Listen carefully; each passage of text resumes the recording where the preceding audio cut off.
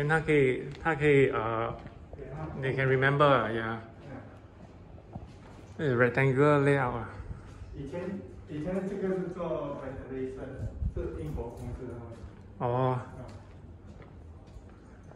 it's a rectangular layout 啊 this one these are basically partition so partition board here one column two column and three column in, in between so here can also go out